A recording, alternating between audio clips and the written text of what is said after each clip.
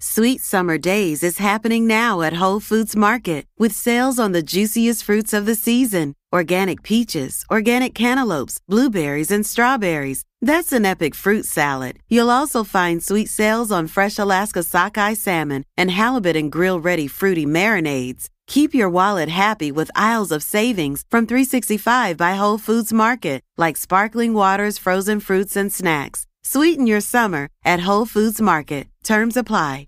It's another Q&A edition of Optimal Health Daily, episode 2228, and I'm Dr. Neal, your host of the show. Welcome back to another Friday show where I answer your questions. On all the other days, I read health and fitness blogs to you, kind of like an audiobook, with permission from the authors, of course.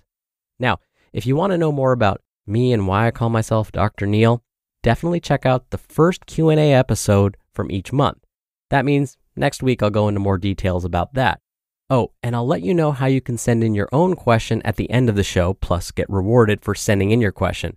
But for now, let's hear today's question and start optimizing your life. Today's question came via email. Jason writes How long does it take to see an improvement in cholesterol readings after implementing a change in lifestyle or diet? Also, does alcohol change your cholesterol? It seems to me that most resources neglect to discuss the relationship between alcohol and cholesterol, and I'd love to hear more. Thanks. Thank you for taking the time to send in your question, Jason. You're right, both of your questions aren't discussed very often. But before I answer them, as always, I have to start at the beginning, meaning, what is cholesterol really? And what are healthy levels? And which ones do you want to increase versus decrease? So once I've discussed that, then we can get to your specific questions. So, first, let's talk about what cholesterol actually is. It's a bit confusing because cholesterol itself is a type of fatty substance, but yet it's not called a fat, it's called cholesterol. This is because cholesterol, even though it's a fatty substance, travels around the bloodstream encased in a special protein. These proteins that carry cholesterol, or these fatty substances, are called lipoproteins. More on that in a second. Cholesterol is actually good for the body up to a certain amount. Too much cholesterol can start collecting in our arteries. This can lead to plaque forming in them. This plaque is dangerous because it can block the flow of blood. Not only that, but the plaque can rupture, which is now a life threatening situation. This is why doctors like to monitor our blood cholesterol levels. They want to know how likely is it that there may be a plaque forming in our arteries. The right amount of cholesterol is good for the body, like I said. And because of that, the body actually makes its own cholesterol. And again, this is because it helps transport these fatty substances throughout the blood. But we can also get cholesterol from our diets.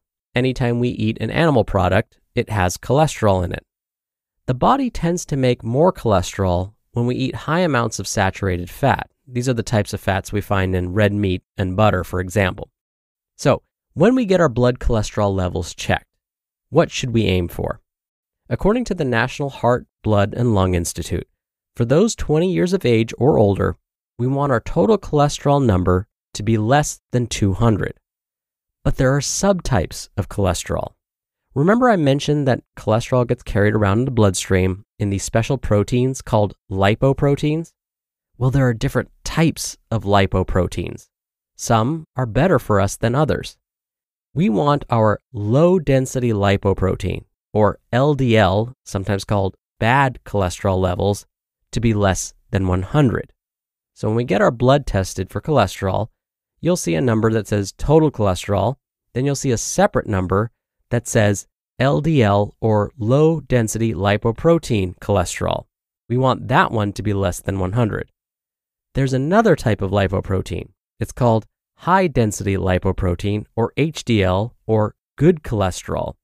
We want these levels to be above 40 if we were born male and above 50 if we were born female.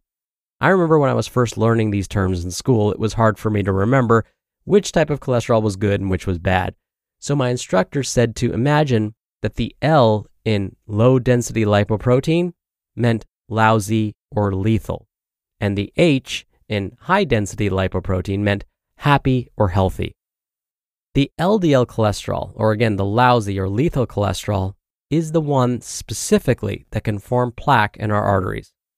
HDL actually helps the body clear LDL from the arteries. This is why HDL is actually good. By clearing LDL from the arteries, HDL lowers our risk for heart attack and stroke. Okay, now that we've covered that, back to your questions, Jason. If we start implementing lifestyle changes to help these numbers look better, meaning LDL gets lower and HDL gets higher, how long would it take to see these improvements?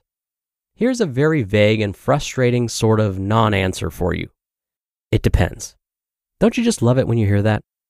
It all depends because each person is built differently. Their genetics, what lifestyle behavior or behaviors they've incorporated, how consistent they are with those behaviors, how long they've been doing them, and so on. Most sources I've seen say that you can expect to see changes in your cholesterol levels in three to six months. Changes to diet, increasing exercise intensity and frequency, and weight loss usually lead to the fastest changes. For example, weight loss of even just 5 to 10 pounds can lead to a 5 to 8% drop in that bad cholesterol, that LDL cholesterol. Okay, so what about alcohol then? According to published studies, drinking alcohol in moderation can increase levels of that HDL or good cholesterol. What does consuming alcohol in moderation actually mean, though? For those that were identified as male at birth, moderation means no more than two drinks per day. For those that were identified as female at birth, it means no more than one drink per day. But what's one drink? One drink means that we've consumed between 12 to 14 grams of alcohol. The problem with this measurement is if we're not reading labels, we may not know how many grams of alcohol there are in whatever we're drinking at the moment. So, to try and put this idea of one drink in more real terms, here are some examples. One drink would be your typical 12 ounce beer. Another example would be 6 ounces of wine. A shot of hard liquor, like whiskey or gin, or about 1.5 ounces, would also count as one drink.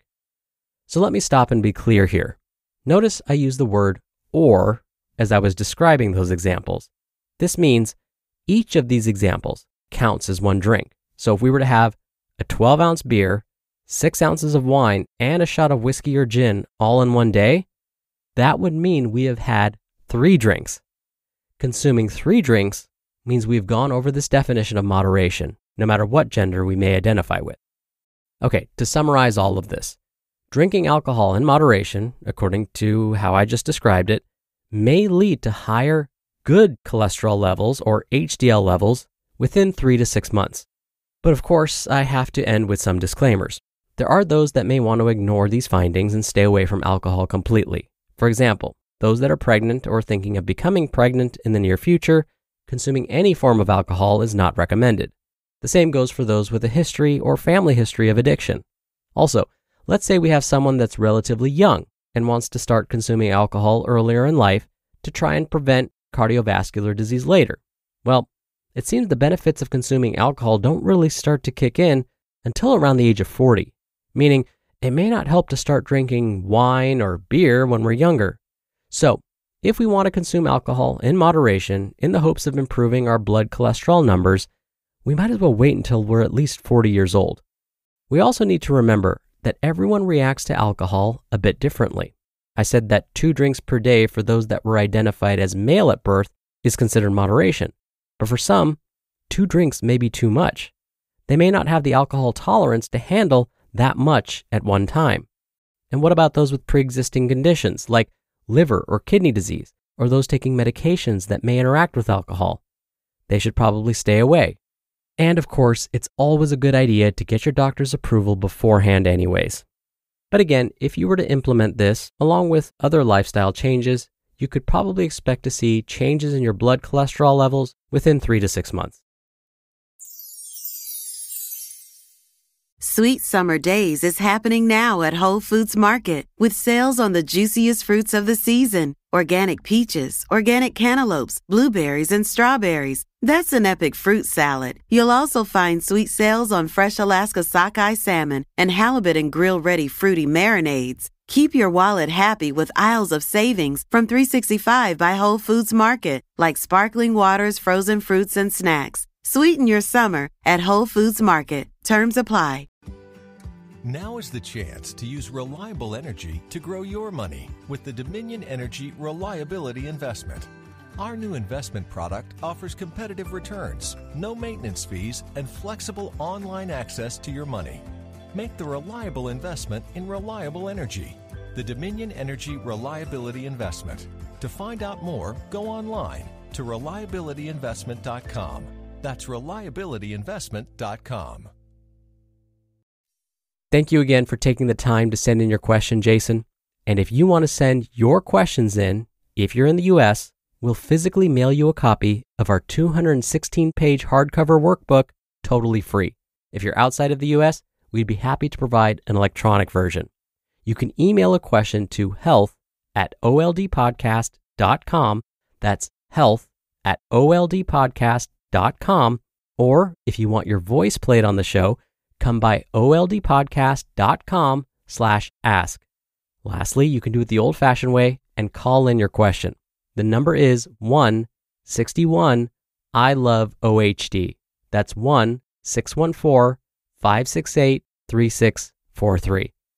All right, that'll do it for today. Thank you so much for listening every day and all the way through. And I'll see you back here tomorrow where your optimal life awaits.